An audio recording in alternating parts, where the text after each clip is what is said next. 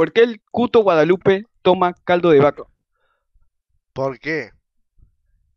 Porque le gustan los cuernos.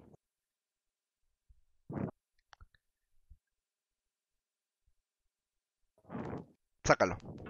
No entendí.